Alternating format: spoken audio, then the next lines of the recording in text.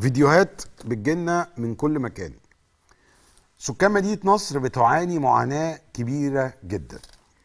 وما زالت معاناة سكان مدينة نصر وأنا ليه مهتم؟ لأن حصل تجديد وشكل الشوارع بقت أحسن بكتير.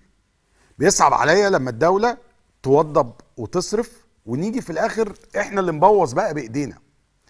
هفرجكم على فيديو من الفيديوهات اللي إيه بقى؟ تحزنك. أنا مش ضد إنك تشتغل ولا ضد إنك تفتح خدمات بالعكس كلنا بنطلب دليفري وكلنا بناكل في البيت وكلنا نحب أكل الشارع. وأنا ده أنا ده أنا بحب اللقمة الحلوة. ده أنا كيف اللقمة بتاعت الشارع دي. بس مش معنى إن أنت تفتح محل أو تفتح من آه، مكان تبيع فيه منتج إنك تاخد الشارع كله لحسابك. اللي حضراتكم هتشوفوه ده عباس العقاد الساعة 3 الفجر. خلينا نتفرج وأنا معاكم كده. الشارع وانت داخل اهو الشارع اتجدد واتوضب واتنور وبقى زي الفل واتسفلت وحاجة آخر جمال. والشارع اتوسع عشان ما يبقاش فيه زحمة. ابدأ بص معايا هدي لي بقى الصورة كده. ابدأ بص معايا بقى العربيات بدأت صف أول تاني تالت ها. الشارع بص أدي حارة واحد اتنين تلاتة أربع حارات. فجأة هيتحول حارة واحدة دلوقتي. ليه؟ في أربع محلات فاتحين هنا.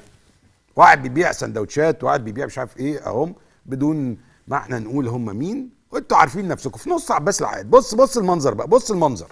بص العربيات واقفة إزاي. ولا وعندك أهو سعادة الباشا السايس وقف بينظم الخمس حارات اللي اتقفلوا. كمل. اتفضل. كمل كده ورينا. بص اتفرج. بص الشارع. الشارع العربيات واقفة. أول تاني تالت. بص الشارع بقى حارة واحدة. الشارع بقى حارة واحدة. الكلام ده الساعة كام يا جماعة؟ 3 الصبح. مع القمامة بقى اللي مرمية في الشارع. بص بقى ما إحنا بناكل و ها اهو ارمي. بعد ما وضبنا وعملنا ونورنا وبقى شكله زي الفل بإيدينا نعمل مخالفات بهذا الشكل. صورة أنا ما صدقتش لما شفتها بصراحة. الصورة التانية جات لنا برضو من سكان مدينة نصر بعتوا لنا في طريق النصر. تقريبا الجزء ده خلينا نبص على الصورة دي تقريبا الجزء ده في الجزء اللي عند نادي السكة الحديد. نفس المنظر ده هتلاقيه موجود عند أول مكرم عبيد بالظبط. وهي سيطرة الميكروباصات والمحلات على الشارع. ميكروباصات اشترت الشارع. ما ينفعش المنظر الصورة دي. أول مكرم عبيد الجزء بتاع السكة عند نادي السكة الحديد مش ممكن الميكروباصات.